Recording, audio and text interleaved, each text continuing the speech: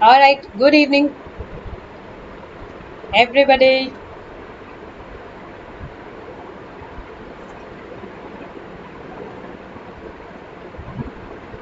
Good evening. Good evening, all of you.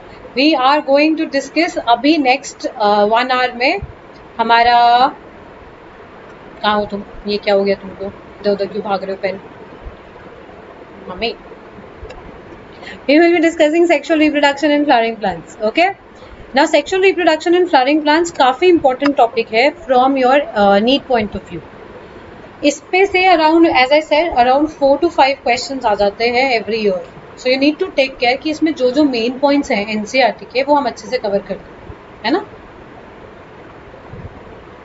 अच्छा now look at this पहली बात तो ये दूसरी स्टार्ट करते हैं सेशन सब लोग आ गए वेट करें। नहीं। हाँ चलो let's get started let's get started and first things first like share subscribe ये तो आपको पता ही आपको करना है। ठीक है? तो subscribe the channel Telegram group बहुत बच्चे अभी भी हैं जिन्होंने टेलीग्राम ग्रुप डाउनलोड नहीं किया है। बेटा टेलीग्राम ग्रुप डाउनलोड कर लो। आपके लिए ही फ़ायदा है। आई नो ओके जो टेलीग्राम ग्रुप है, उसमें आपका नोटिफिकेशन आ जाएगा। आपको टाइम टू टाइम बार बार ये नहीं होगा कि कोई क्लास मिस तो नहीं हो गई, या आप क्विज के लिए लेट तो नहीं हो गए। एक इन्फॉर्म्ड रहोगे अच्छे से। दूसरा this is your link click on the link and get enrol on that part thanks to Sumaiya ma'am again well prepared slides by her as you know crash courses के सिर्फ़ लिमिटेड सीट्स बचे हैं बच्चे। And they are at three nine nine if you apply the code K Y NEET ठीक है? ये आपका link इस पर क्लिक करना है। एनरोल नाउ पे जाना है। कूपन कोड मांगेगा। कूपन कोड ये रहा। K Y NEET super duper simple next we are starting with our pro subscription ये हम पहले भी बता चुकी हूँ तो बार बार बार बार इसलिए बताया जा रहा है कि जो नया बच्चा आए, उसका ये चीज़ पॉइंट मिस ना हो जाए। तो पहला स्टेप जाओ इलेवेंथ ट्वेल्थ में हो या इलेवेंथ में हो, वो सिलेक्ट करो। कौन से ईयर का नीट टारगेट कर रहे हो, वो सिलेक्ट करो और फिर गेट सब्सक्रिप्शन गेट सब्सक्रिप्शन पे जब आप जाओगे तो आपको लगाना है coupon code G A pro G A pro जब आप लगाओगे तो अपने आप आपका प्राइस आ जाएगा फाइव नाइन फोर नाइन पे। गुड इवनिंग ठीक? Mock test on mock test on Sunday be a little more prepared ये चीज़ हमें चाहिए। ठीक है? बढ़िया बढ़िया और बढ़िया। मेरी क्लास के बाद सेवन थर्टी पे अरविंद सर की क्लास कार्बोक्सिलिक एसिड्स पे। बी देयर ऑन टाइम क्योंकि तुम लोग यहाँ भी टाइम पे नहीं आते starting with the topic chapter बहुत बहुत आसान है। ठीक है? बहुत आसान चैप्टर है। डिवाइड कर लेना।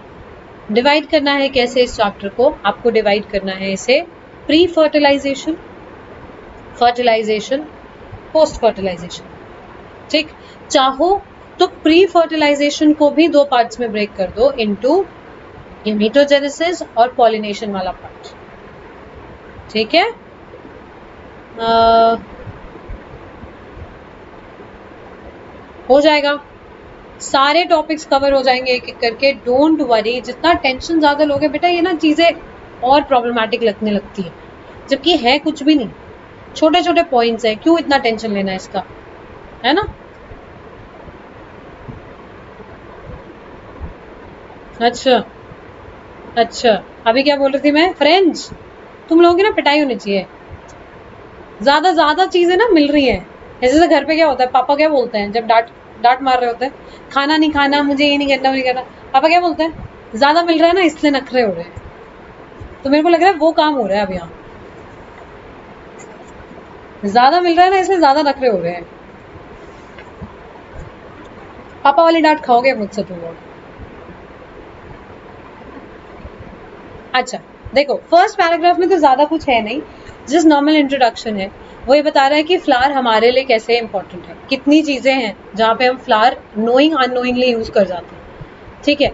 इससे क्वेश्चन ऑब्वियसली आने के चांसेस कम है, एक इंट्रोडक्शन है कि हाउ इज़ इट इम्पोर्टेंट ना इंपॉर्टेंट पॉइंट्स पहला बात जा रहे हैं प्री फर्टिलाइजेशन प्री फर्टिलाइजेशन में what we are studying is that बहुत सारे हार्मोनल और स्ट्रक्चरल चेंजेस होते हैं, जिसकी वजह से डिफ्रेंसिएशन होता है और आपका लीफ या शूट से एक फ्लावर बन जाता है। जब मैं बोलती हूँ फ्लोरल प्राइमोडिया मतलब प्राइमोडिया मीन्स इनिशियल्स फ्लावर बनाने के लिए जो नए सेल्स या इनिशियल्स बनते हैं that is known as floral primordia ठीक है? ना फ्लावर में भी और flower in the flower there is the male and female reproductive structure और हम उन्हीं को एक एक करके डिटेल में लेंगे ठीक है?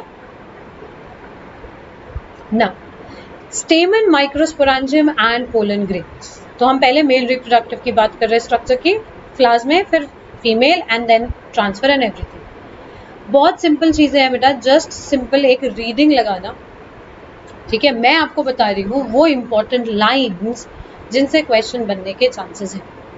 पहली बात proximal end of the filament मतलब ये अगर एंथर है है ना? ये अगर एंथर है so this is the distal end end this filament वाला पार्ट इज़ प्रोक्सिमल एंड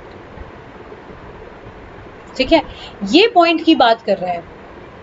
इस पॉइंट की बात कर रहा है। प्रोक्सिमल पास बॉडी के जो पास है। तो जैसे शोल्डर मेरी बॉडी के पास है तो प्रोक्सिमल एंड हो गया। फिंगर्स दूर है तो डिस्टल हो गया। ठीक है?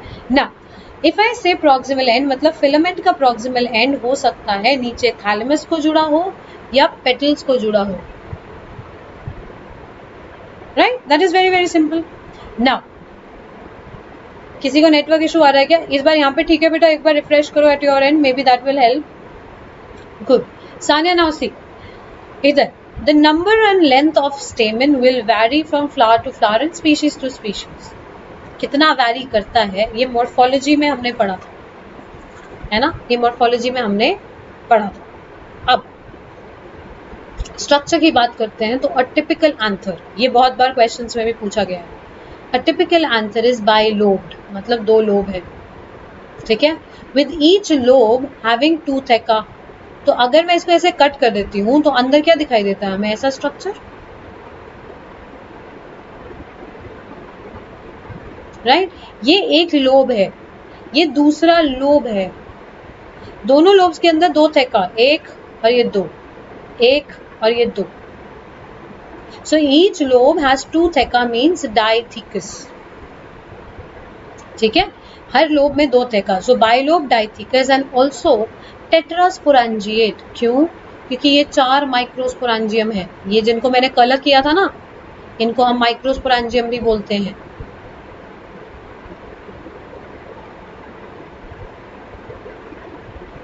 माइक्रोस्पोरेंजियम माइक्रोस्पोरेंजियम इज़ जहाँ पर माइक्रोस्पोर बनता है, वो कैविटी। कितनी ऐसी कैविटीज हैं? चार। तो मैं इसको क्या बोलती हूँ? टेट्रास्पोरेंजियम ठीक है? तो उसको क्या बोला? टेट्रा स्पोरेंजिएट या मैं बाद में बोल सकती हूँ पोलन सैक जब उसमें पोलन भर जाएगा तो पोलन सैक ठीक? ये पूरा नीचे ऐसे टनल के जैसे होता है, पूरे लोब में होता है. बढ़िया बात. ना अगर अंदर जाओगे स्ट्रक्चर में देखोगे तो एक सिंगल माइक्रोस्पोरेंजियम का, एक सिंगल माइक्रोस्पोरेंजियम में आपको बहुत सारे लेयर्स दिखाई देंगे. इट कंटेन्स फोर लेयर्स कौन से? Epidermis, endothelium, middle layers and tapetum. ठीक outer three layers are for protection and tapetum is the innermost layer और इसका function nourishment. The cells of tapetum are dense, have dense cytoplasm. आप हमेशा देखो कोई भी सेल अगर किसी और की मदद कर रहा है तो उसको ज़्यादा जेनेटिक मटेरियल रखना पड़ता है और उधर बहुत काम है तो साइटोप्लाज्म डेंस हो सकता है है ना? So again dense cytoplasm and more than one nucleus may be present can you think of how typical cells become binucleate binucleate होने के लिए क्या करना है? साइटोकाइनेसिस नहीं करानी।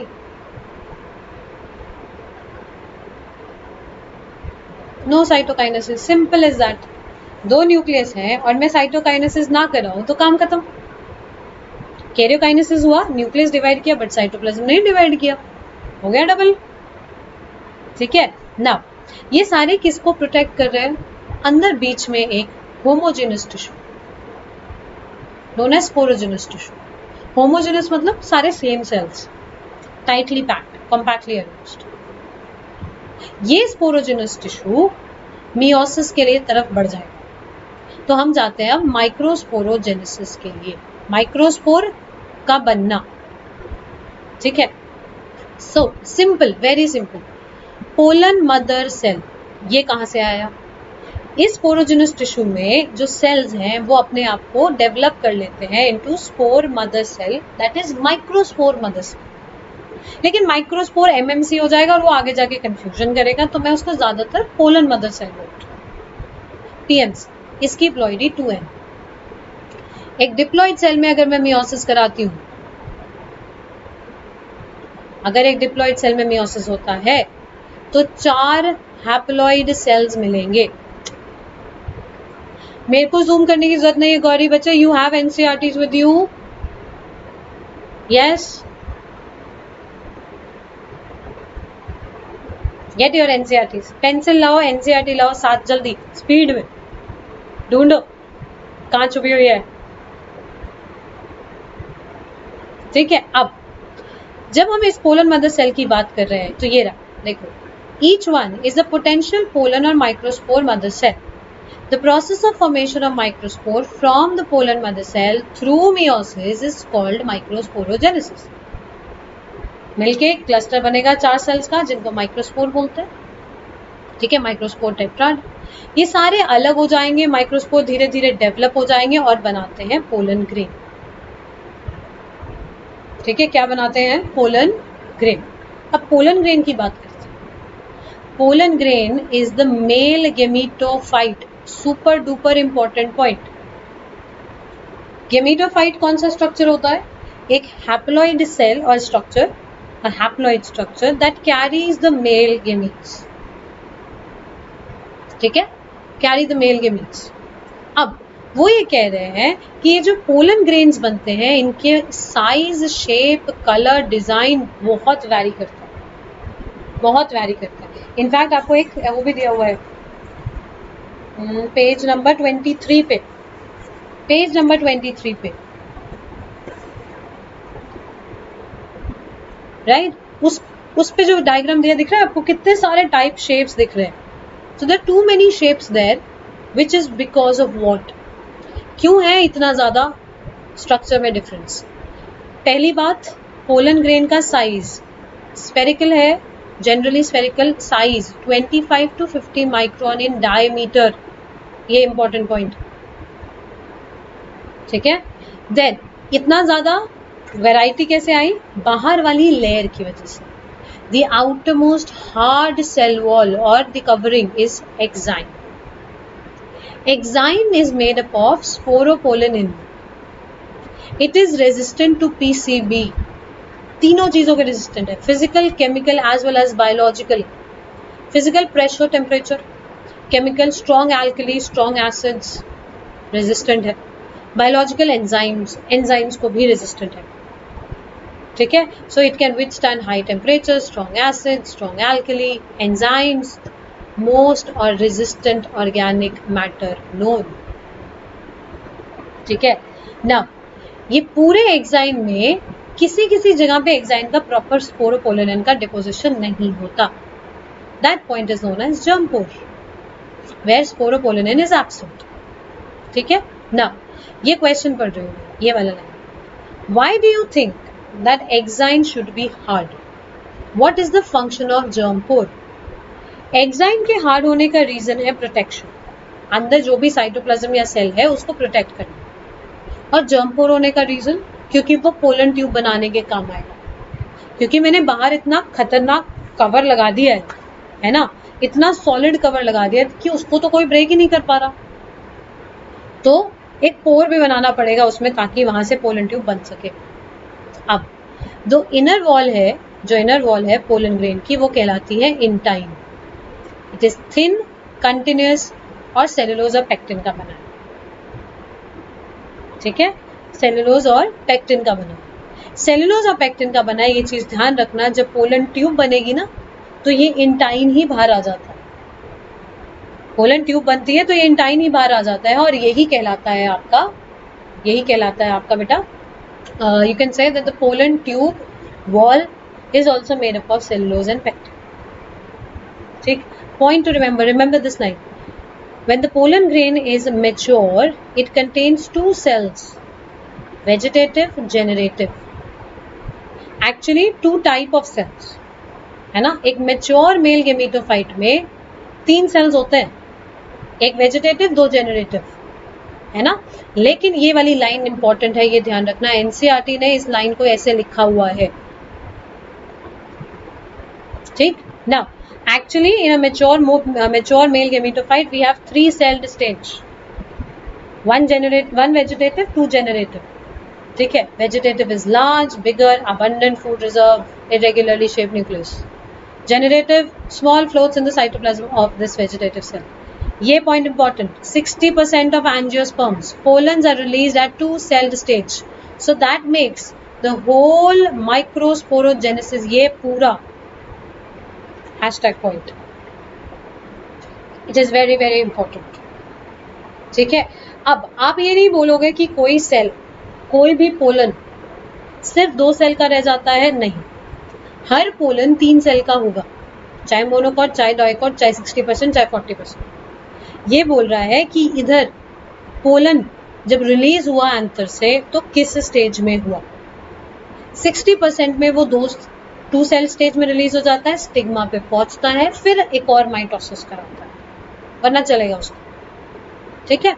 लेकिन बचे हुए में ये तीन, ज़्यादातर जो मोनोकॉट्स हैं, इसमें थ्री सेल स्टेज पे ही रिलीज़ करा रहे हैं। बाहर जाके फिर मियोसिस माइटोसिस का टेंशन नहीं लेंगे ठीक है? फिर टेंशन नहीं लेंगे अब, पहली बात कैन कॉज आसमा तो बहुत ज़्यादा एक्सट्रीम तरीके से जब रिलीज़ होते हैं ना, ज़्यादातर विंड पॉलिनेटेड पोलन है ना विंड पॉलिनेटेड जो प्लांट है, वो बहुत पोलन रिलीज़ करते हैं जिसकी वजह से chronic respiratory diseases like these example example cap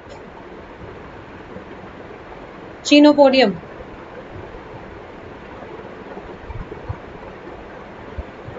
Amaranthus.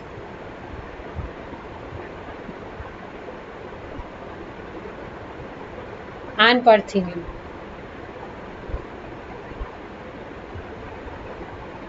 Their pollens can cause huge type of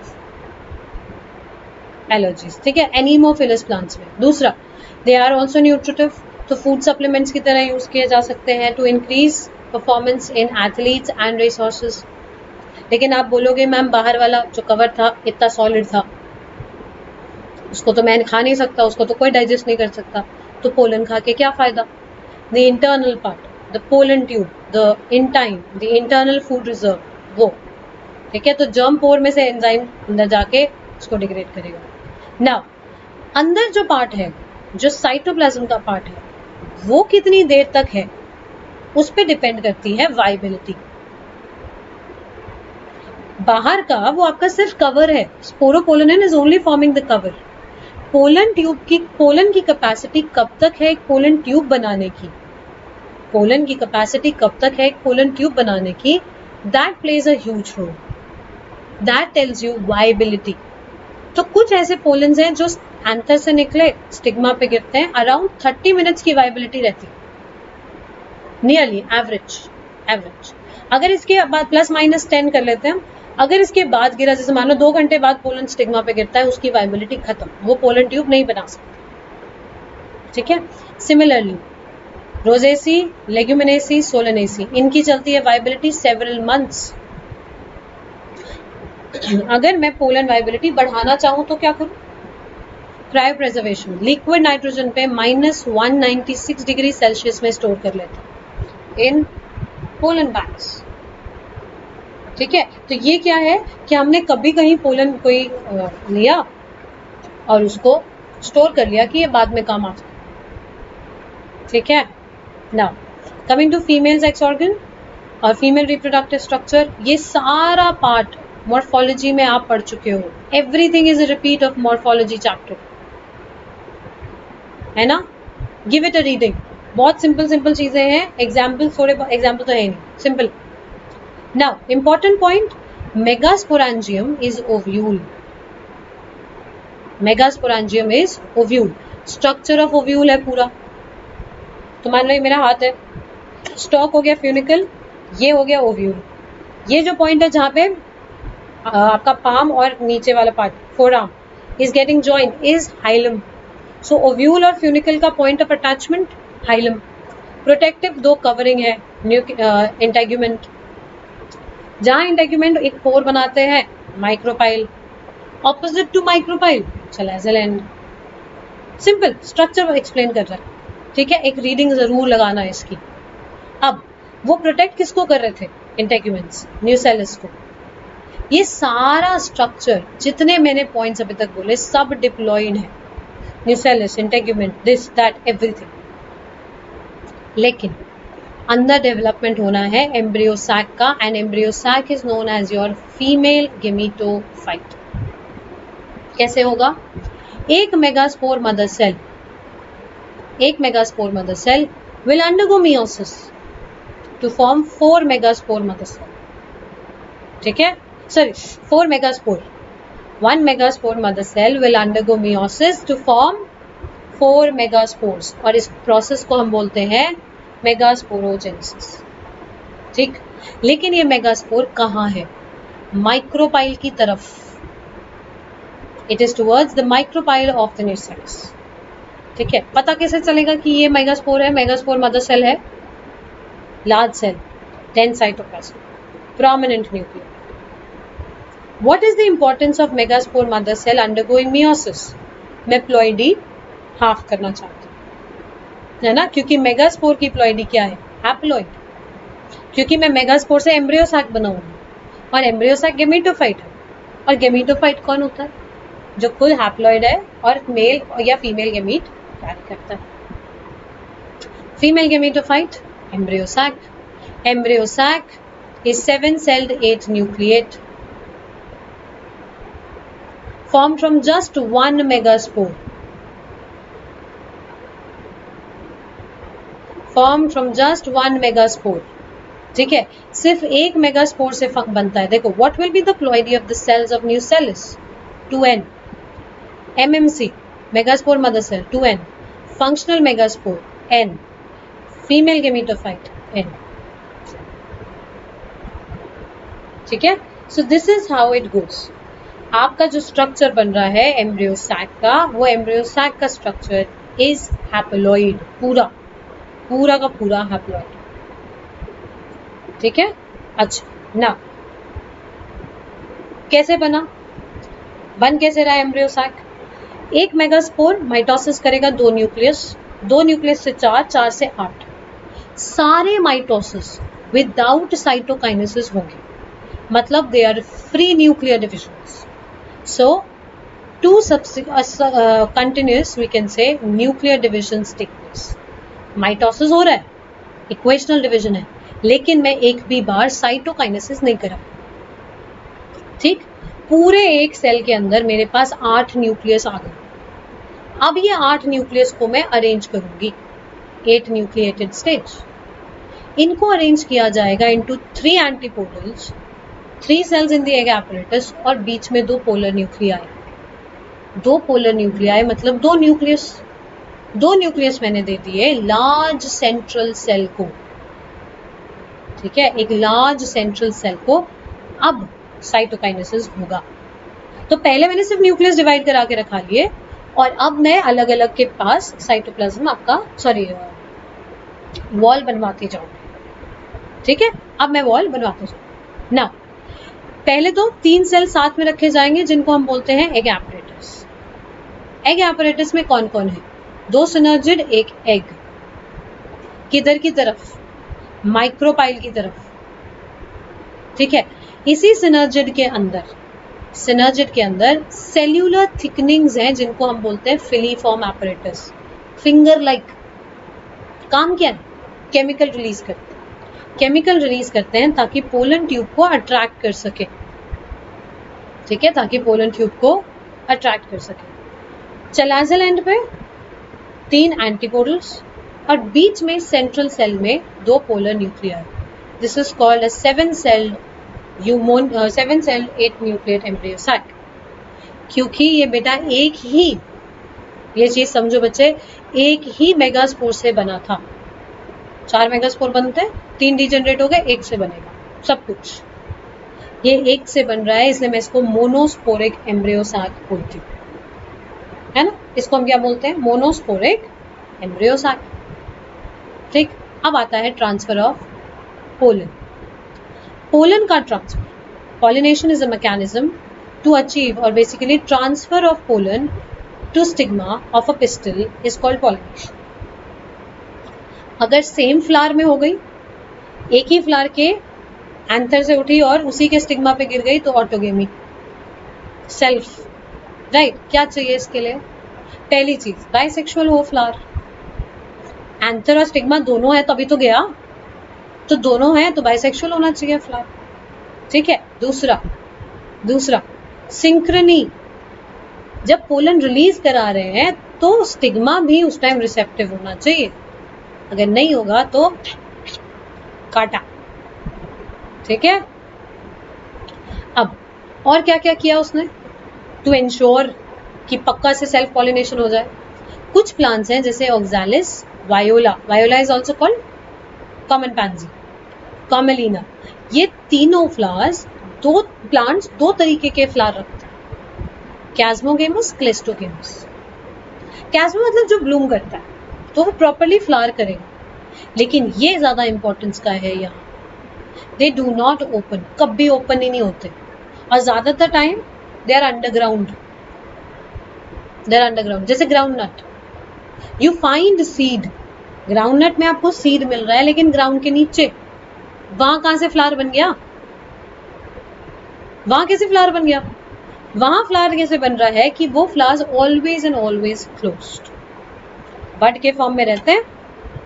अंदर ही आंसर डिहाइस हो जाता है, अंदर ही स्टिग्मा पे गिर जाता है, अंदर ही सब कुछ done forms a seed so viola oxalis commelina have both type of flowers लेकिन दो तरीके के फ्लावर क्यों रखे? ये क्लेस्टोगेमस वाला इंश्योर करेगा कि सीड बनेगा। हर साल, चाहे कुछ और हो ना हो, ये सीड तो बनेगा। और ये जो ऊपर बनाए इसने फ्लावर्स वो इसने बनाए ताकि क्रॉस पॉलिनेशन हो सके, ताकि कुछ जेनेटिक वेरिएबिलिटी भी आ सके।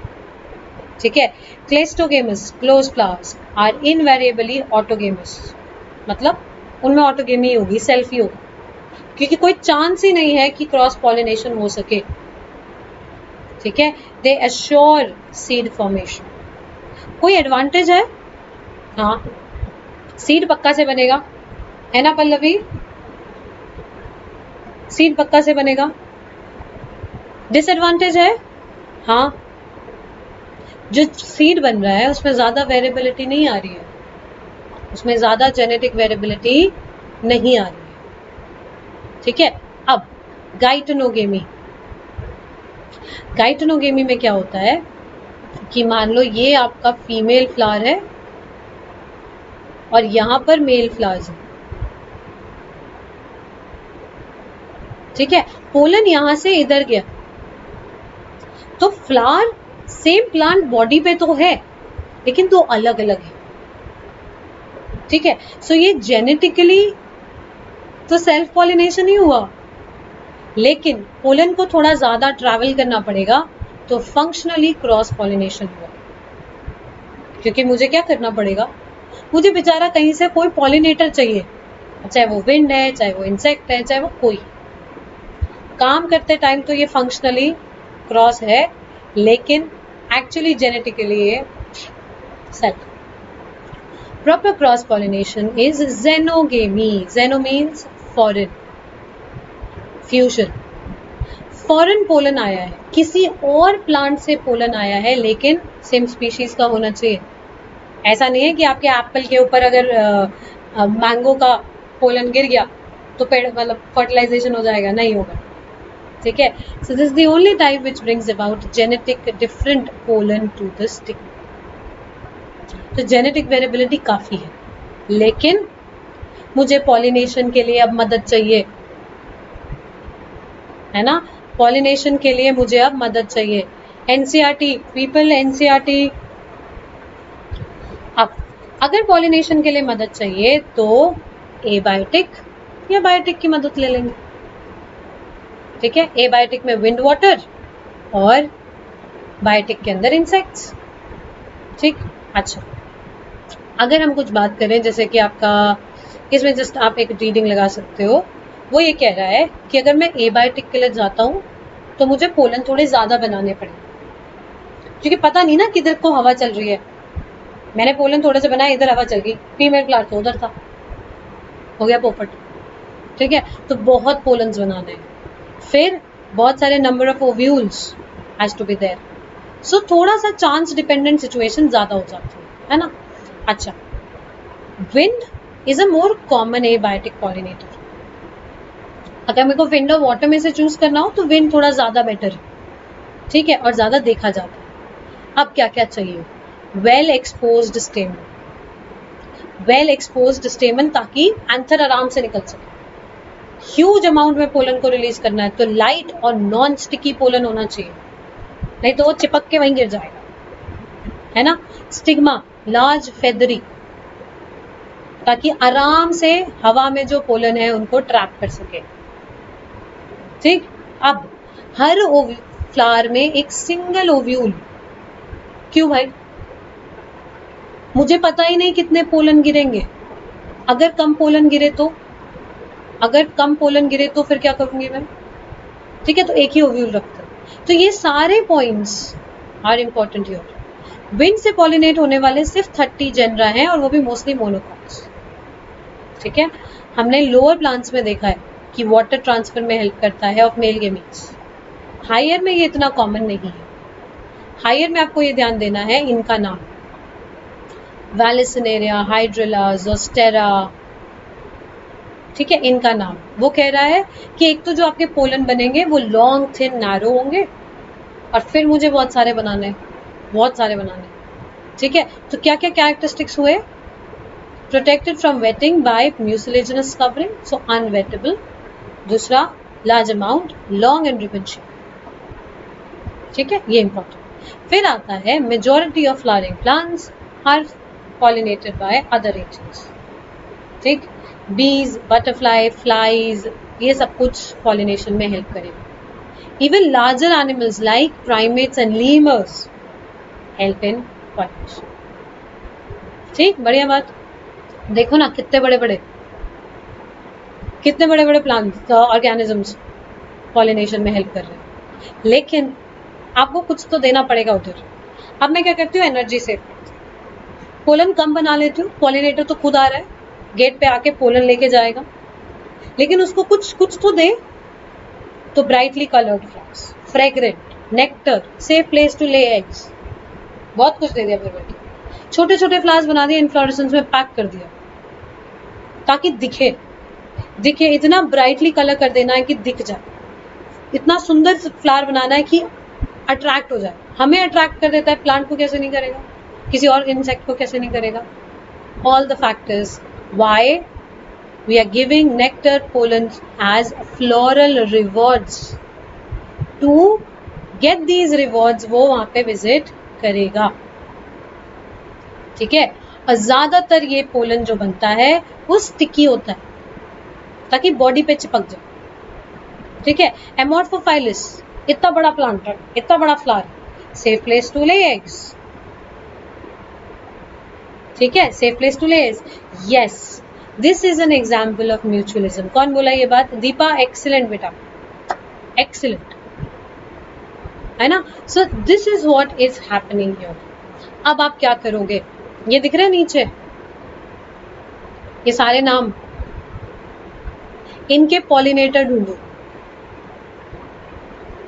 जैसे cucumber insect mango ant peepal again small insect ठीक है?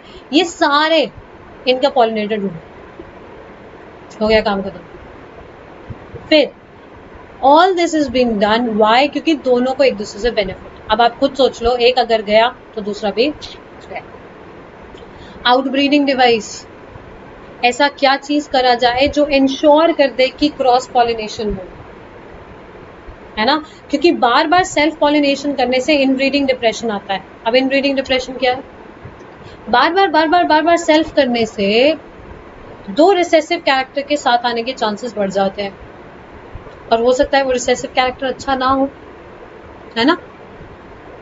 तो होमोजाइगस कंडीशन आने के चांसेस बढ़ रहे हैं और होमोजाइगस कंडीशन हो सकता है बेनिफिशियल ना हो। तो मुझे क्रॉस पॉलिनेशन कराना है ज़्यादा जेनेटिक वेरिएबिलिटी के लिए।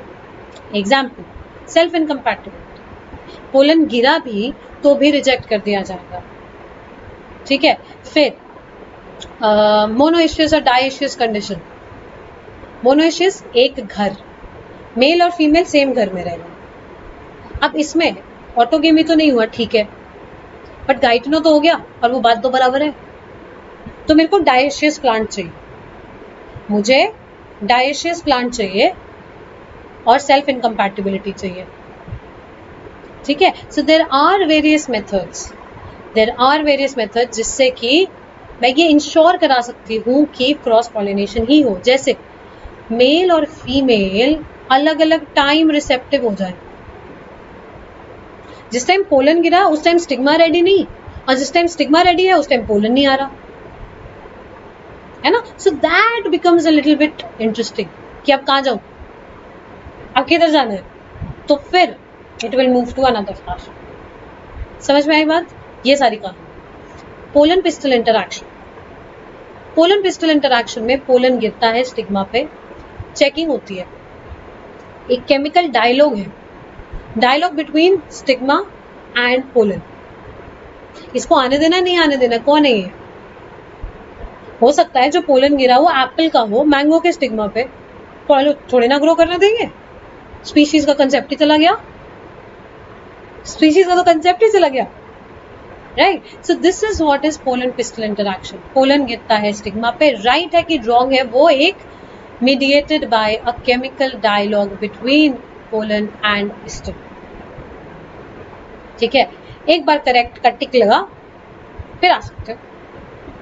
Chemical dialogue majorly there are various proteins release जिनके लिए वह बाइंडिंग साइट प्रॉपरली होनी चाहिए। ठीक है? सेम सेम वाला पसंद ही नहीं। मैच करके तुम्हें रिजेक्ट करेंगे ही करेंगे। तुम पसंद ही नहीं हो। ऐसा क्या ला रहे हो जो मेरे पास नहीं है? है ना? कुछ ऐसा है, कोई नया जीन है तुम्हारे पास, कोई नई चीज़ें हैं तुम्हारे पास तो you are welcome otherwise not interested ठीक?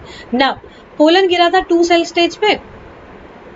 यहाँ आके डिवाइड करेगा, तीन सेल बनाएगा, दो जेनरेटिव एक वेजिटेटिव वेजिटेटिव सेल आगे निकल जाएगा पोलन ट्यूब बनाता हुआ थ्री सेल स्टेज कंडीशन और पोलन ट्यूब बनाता हुआ जाएगा किधर? नीचे बैठा था फिलीफॉर्म एपरेटस सिनाजिड में. वो केमिकल रिलीज़ कर रहा है. पोलन ट्यूब केमिकल की तरफ़ ग्रोथ करती चली जाएगी. ठीक है? जब ग्रोथ कर रही है तो उसको हम क्या बोलते हैं? फिलीफॉर्म एपरेटस की तरफ़ केमिकल की तरफ़ ग्रो कर रहा है। कीमो ट्रॉपिक कीमोट्रॉपिक मूवमेंट ठीक है? मुड़ गया है, चल के गया गया मस्त बिंदा से ठीक? Now can you easily, you can easily study pollen germination by dusting some pollens like of chickpea, pea crotalaria balsam, vinca on a glass slide है and add sugar solution 10 percent और उसको 15 से 30 मिनट में देख इसको हम बोलते हैं hanging drop method hanging drop method ये बस in vitro pollen tube germination के लिए हम चेक करते पोलन ट्यूब बन रहा ठीक है। ये चीज़ आ गई। लेकिन इसके सोल्यूशन में जब मैं पोलन ट्यूब ग्रो कराती हूँ ना एक एलिमेंट की बहुत रिक्वायरमेंट है। कौन सा element is required for maintaining stability of pollen tube कौन बताएगा? है ना, राबिया, किया ना स्कूल में एक्सपेरिमेंट कौन सा एलिमेंट है जो पोलन ट्यूब पोलन ट्यूब को स्टेबल करने में हेल्प करेगा? Good good excellent MBBS boron right so boron is important फिर आता है आर्टिफिशियल हाइब्रिडाइजेशन पूरे पैराग्राफ में क्या बोल रहा है देखो। एक बाइसेक्सुअल फ्लावर है। इससे पहले कि पोलन बड खुले, इनको हटा दो। Removal of anther before opening of bud anthesis is called emasculation done मैंने कर दिया इसको कवर क्योंकि हो सकता है अभी तक मेच्योरिटी पे ना पहुंचाओ ठीक है? बैगिंग अब इसको हटाया, इस पर डिजायर्ड पोलन डस्ट किया गया और फिर रीबैग कर दिया। पहले तो एंथर हटाए रिमूवल ऑफ़ एंथर्स स्टेमन ताकि उसका पोलन खुद पे ना गिर जाए कवर कर दिया मेच्योर हुआ स्टिग्मा बैग हटाया पोलन डस्ट किया, फिर रीबैग कर दिया और फिर इस पर लगा दिया टैग कि मैंने कौन से एंथर का पोलन उस पर डस्ट किया। ये सारा काम मेंडल अंकल ने किया था, हर बार पी के लिए, है ना? परफेक्ट डबल फर्टिलाइजेशन दो जगह फ्यूजन होगा। दो मेल गेमीट्स थे, दो जेनरेटिव सेल्स एक जेनरेटिव सेल जाता है पीई एन बनाता है, और दूसरा syngamy PEN polar nuclei fuse polar nuclei fuse antipodals degenerate polar nuclei fuse होता है तो उसके साथ एक मेल गेमेट फ्यूज करता है। Three N. Triploid. zygote is formed by fusion of male and female gamete normal syngamy syngamy और triple fusion दोनों मिला के कहलाए जाते हैं double fertilization an event exclusive to angiosperms क्यों? क्योंकि triple fusion is exclusive to angiosperms ये भी तो पहली बार हुआ। इससे पहले किसी और प्लांट में ट्रिपल फ्यूजन देखा हमने? नहीं। ठीक है, अब ये बड़ा होके एंडोस्पर्म बनाएगा और जाइगोट बड़ा होके एम्ब्रियो बनाएगा। PEC that is primary endosperm cell, will form endosperm. Endosperm की प्लॉइडी हो गई 3N न्यूट्रिटिव नरिशमेंट प्रोवाइड कर रहा है। और एम्ब्रियो 2N डिप्लॉइड जाइगोट जैसा। पोस्ट फर्टिलाइजेशन इवेंट एंडोस्पर्म का formation mitosis mitosis and mitosis simple हो सकता है माइटोसिस इनिशियली इनिशियली वो सिर्फ़ कैरियोकाइनेसिस कराए। सो फ्री न्यूक्लियर एंडोस्पर्म ठीक है? लेकिन धीरे धीरे जैसे आपके कोकोनट वाटर में होता है। कोकोनट का जो वाटर है, उसमें सिर्फ़ सिर्फ़ न्यूक्लियस है भर भर के। न्यूक्लियर एंडोस्पर्म लेकिन बाद में वो साइड में अपने वॉल बनाने लगता है साइटोकाइनेसिस लेटर ठीक है? So gets converted into cellular endosperm अब जिसमें पहले न्यूक्लियर होके फिर सेल्यूलर हुआ, ये भी हो सकता है. लेकिन लेकिन किसी किसी में सेल्यूलर स्टार्टिंग से होता है. मतलब हर कैरियोकाइनेसिस के बाद वॉल बना. कैरियोकाइनेस साइटोकाइनेस कैरियोकाइनेस साइटोकाइनेस ठीक है? ये बात यहाँ पे. Most common type of endosperm is nuclear free nuclear endosperm ठीक?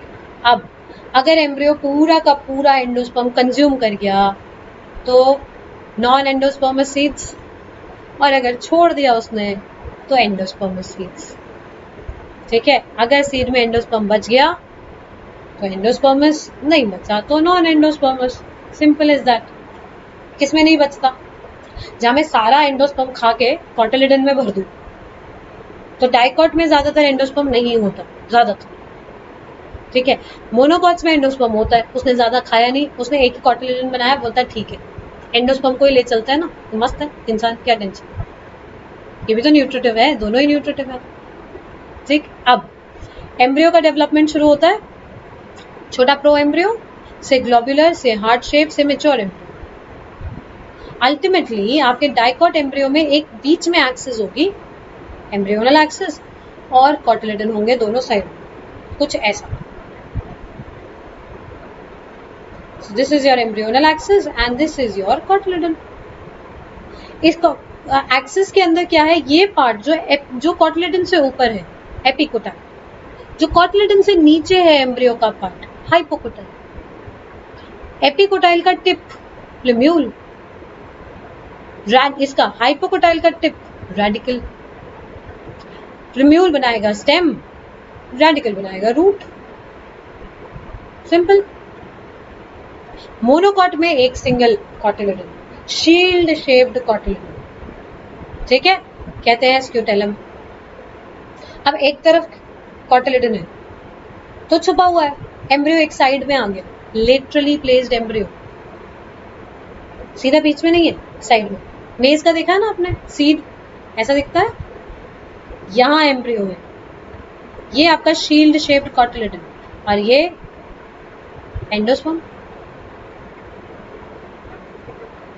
एंडोस्पर्म की आउटर मोस्ट लेयर कहलाती है एल्यूरॉन लेयर एल्यूरॉन लेयर की प्लॉइडी भी थ्री है। क्योंकि वो एंडोस्पर्म की ही तो बाहर वाली लेयर है।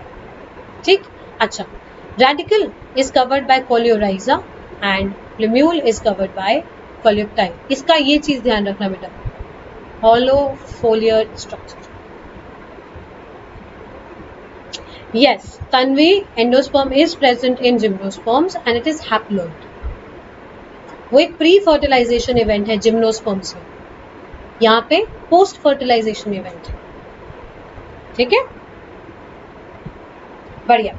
अब आते हैं सीड पे। As we said non albuminous और एल्ब्यूमिनस मतलब no endosperm and yes endosperm इसके एग्जाम्पल्स आपने पिछली बार मॉर्फो में भी किए हैं, यहाँ भी किए तो एक बार वो देखना है। पेरिस्पर्म अगर बाई चांस न्यू सेलस बच गया, जैसे कि बाल, ये black pepper beet even castor new cells बच गया अगर कंज्यूम करने से पहले तो ठीक पेरिस्पर्म अब डॉर्मेंट भी हो जाता है सीड है ना? फेवरेबल कंडीशन नहीं है। बाहर या अंदर इंटरनल भी होता है। इंटरनली हो सकता है एम्ब्रियो रेडी ना हो। मेच्योर नहीं है सो जर्मिनेट नहीं करेगा। नो no प्रॉब्लम उसको। ठीक है? So seed develops into ovule develops into seed ovary develops into fruit ये फिर से सारी कहानी बहुत ही सिंपल और बहुत ही मॉर्फो से related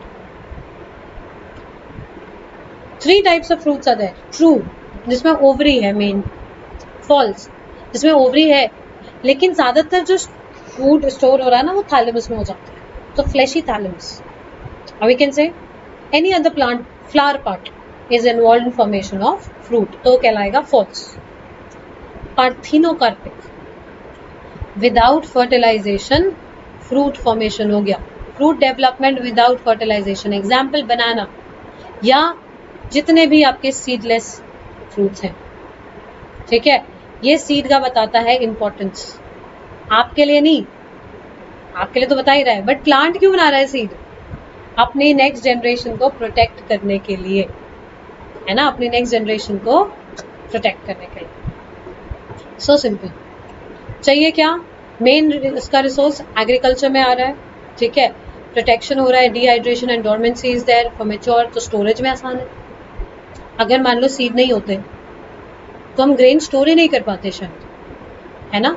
So it's a good thing that there are presence of seeds so I can store it right ये कुछ नाम है इंपॉर्टेंट जिनका डोरमेंसी ड्यूरेशन काफ़ी दिया हुआ है। Lupinus arcticus from Arctic tundra has been dormant for ten thousand years ऐसे ही टू थाउज़ेंड ईयर्स की हमें मिली है in date palm Phoenix dactylifera from your Herod king's palace near Dead Sea usually इतनी होती नहीं है बट शायद कुछ कंडीशन ऐसे क्रिएट हो गए।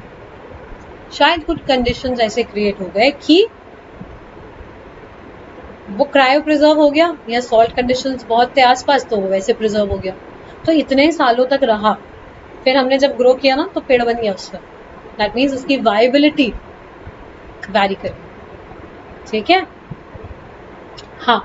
ना after completing a brief account in sexual reproduction of flowering plants it would be worth attempting to comprehend the enormous, enormous, uh, sorry, enormous uh, reproductive capacity of flowering plants by asking the following questions: How many eggs are present in an embryo sac? One. How many embryo sacs are present in an ovule? Usually one. Usually one. I'm saying usually because exceptions are there. Okay. How many ovules are present in an ovary? This could be many. Many ovules could be present. If it is axile, marginal, whatever type of placentation, except basic. Many or one, both could be there. Anna? Uh, okay. How many ovaries could be present in a typical flower? One or many? How many flowers are present on this? Many ठीक है? This is what you see in ना important point यहाँ पे थोड़ा ध्यान देना बेटा। Okay orchid fruits are one such category of each flower which has thousands of tiny seeds so they have dust seeds similar is the case of fruit of Orobanche and Striga तो एक just general reading ठीक है? Have you seen tiny seeds of ficus? आपने पीपल के पेड़ के नीचे देखा होगा छोटे छोटे बेरी जैसा होता है और उसको आप फ्लैट करते हो तो बहुत सारे सीड्स होते हैं billions of seeds are produced can you imagine any example in which Such tiny structures can be produced in large biomass over the years. बहुत सारे plants हैं ठीक है lot of plants are there. हाँ हाँ बच्चे, उस पर आ रही हूँ मैं, आ रही हूँ apomixis is formation of seed without fertilization ज़्यादातर एस्टरेसी और ग्रासेस में मिलता है। आप देखो फ्रूट बनाया मैंने फर्टिलाइजेशन के बिना। तो ओवरी तो बनी डेवलप हुई, लेकिन अंदर सीड नहीं था। यहाँ मैंने सीड बना दिया बिना फर्टिलाइजेशन के। ये कैसे कर दिया भाई? कुछ प्लांट्स हैं जैसे सिट्रस मैंगो एस्टरेसी ग्रासेस इनको ना थोड़ा सा एक पीछे बैकग्राउंड में इन्होंने एक बैकअप बना लिया है कि ठीक है फ्लावर बनाएँगे, सब कुछ होगा, पोलन भी है, सब कुछ है will wait for the pollen. Let's wait अगर पोलन आ जाता है तो बहुत बढ़िया बात है, बहुत ही बढ़िया बात है कि पोलन आए, पोलन गिरा, पोलन जब, हमारा नॉर्मल सेक्सुअल रिप्रोडक्शन होगा एम्फीमिक्सिस ठीक, लेकिन अगर नहीं आया पोलन तो? इतने फ्लावर बनाए मैंने, सारे वेस्ट है कि नहीं? सारा वेस्ट पॉइंट क्या है? व्हाट इज़ द पॉइंट तो इन्होंने एक फॉल बैक अपने लिए मैकेनिज्म रख लिया कि अगर पोलन नहीं आया इस ड्यूरेशन में, फिर आ गया तो ठीक है, फिर भी आ गया तो ठीक है, लेकिन अगर अभी तक नहीं आया तो मैं अपने ही कुछ सेल्स को I will make them act as a zygote I will start making them act as a zygote क्योंकि डिप्लॉयड ही है सारे टिश्यू इसी डिप्लॉयड सेल न्यू सेल्स से उठाऊँगा। इसी सेल को बोलूँगा, तुम आज से डिप्लॉयड हो, आज तो आज से तुम जाइगोट हो, और अब तुम एम्ब्रियो हो। कुछ एक दो सेल्स उठे। Zygote zygote zygote embryo embryo embryo seed को लग रहा है, पूरे पेड़ को लग रहा है, वाह बेटा एम्ब्रियो बन गया। एम्ब्रियो बन गया तो सीड बना लेते हैं। है ना? तो सीड बन गया। जबकि फर्टिलाइजेशन तो हुई नहीं। अब मैंने ये क्यों बोला? Mimic sexual reproduction it's an asexual reproduction that mimic sexual reproduction बाहर से कोई सेल नहीं आया। अपने ही पेड़ का एक सेल लेके मैंने उसको जाइगोट बनाया, उससे एम्ब्रियो बना दिया। एसेक्सुअली तो हुआ। कोई जेनेटिक वेरिएशन नहीं है। एक ही पेरेंट इन्वॉल्व है। लेकिन mimic sexual reproduction because seed बन गया। फ्रूट भी बन जाएगा। क्योंकि सीड बना तो फ्रूट का ट्रिगर मिलेगा। फ्रूट बन जाएगा। Apomixis is the formation of seed without fertilization. Parthenocarpy is formation of fruit without fertilization. That will be a seedless fruit. ये सीडलेस नहीं हो सकते आप सिट्रस और मैंगो को बिना बीज के कभी इमेजिन देखोगे ही नहीं क्योंकि उसके पेड़ ने अपने आप एक मैकेनिज्म बना लिया है बीज ठीक अब, मैंने कहा it could be one cell that it is telling तुम आज से जाइगोट हो या एक से ज़्यादा को बोल दिया उसने कि तुम आज से जाइगोट हो अब अगर एक से ज़्यादा को बोल दिया, एक ही ओव्यूल में, इसी ओव्यूल में दो तीन को बोल दिया, तुम जाइगोट तुम जाइगोट तुम जाइगोट एम्ब्रियो बनाओ। एक ही जाइगोट में सॉरी एक ही ओव्यूल में तीन चार एम्ब्रियो डेवलप हो रहे एक सीड बनेगा, उसमें चार एम्ब्रियो हैं। Polyembryony polyembryony so apomixis में लीड टू पॉली एम्ब्रियोनी और कुछ और तरीके भी हैं। ठीक है? ज़्यादातर अगर न्यूसेलिस से बन रहा है तो हम इसको बोलते हैं एडवेंटिव पॉली एम्ब्रियोनी एडवेंटिव का मतलब क्या होता है? जहाँ से बनना चाहिए, वहाँ से नहीं बना, कोई और ही पार्ट बना रहा है। एम्ब्रियो जहाँ से बनना चाहिए था, वो था आपका एग का फर्टिलाइजेशन होता तो बनता। जाने दो भाई इधर उधर से सेल्स निकल निकल के बना रहे हैं एम्ब्रियो एडवेंटिव पॉली ठीक? हमारे लिए थोड़ा सा बेनिफिशियल इसलिए है ये वाला पार्ट देखो। क्योंकि अगर मेरा हाइब्रिड प्लांट है और वो हर साल सीड ऐसा बना के दे दे मुझे कि खुद को ही पैक करके दे रहा है लो जी मेरी कॉपी क्लोन मेरा क्लोन मेरा क्लोन तो आई एम हैप्पी मैंने इतनी मेहनत करके तीन चार साल लगा के एक अच्छी वैरायटी बनाई थी। ठीक है? उसको मैं लेके जाती हूँ नेचर में ग्रो करती हूँ वहाँ हो जाता है क्रॉस पॉलिनेशन सब गया खत्म। सो so, फार्मर बेचारा हर बार जाता है नया सीड खरीदता है हर बार जाता है नया सीड खरीदता है। मैंने बोला, ठीक, जाने दो। ये नहीं करेंगे। ठीक है? सो एपोमिक्सिस अगर हम हाइब्रिड में डाल दें, अगर एपोमिक्सिस के जीन्स हम प्रॉपरली ढंग से आइसोलेट कभी कर पाए तो हमारे लिए बहुत बड़ा एडवांटेज हो जाएगा कि आप एक साल जो ग्रो करोगे ना, वो ही प्लांट उसी की copy same ditto copy seed में आ जाएगी। तो आप स्टोर कर सकते हो। नेक्स्ट सीज़न में आप फिर यूज़ कर सकते हो। जेनेटिकली सेम है आइडेंटिकल है. Very nice helps in maintaining hybrid vigour year after year लेकिन इतना आसान नहीं है ये. ठीक है, इतना आसान नहीं है इन जीन्स को आइसोलेट करना. इसीलिए फार्मर को हर बार जाके नया हाइब्रिड सीड खरीदना पड़ता है. वो अपने ही पिछले साल के सीड को यूज़ नहीं कर सकता. क्योंकि जो ये सीड बने, ये जो क्रॉस पॉलिनेशन से बन गए थे कहीं से कोई पोलन आ गया, हो सकता है कोई डोमिनेंट ट्रेट आ गया, मुझे तो पता ही नहीं। तो वो प्रॉब्लम हो जाती है। ठीक है? Read out the summary it's very simple कुछ भी नहीं दिया है। चाहो तो पहले समरी पढ़ लेना, फिर चैप्टर में चले जाना।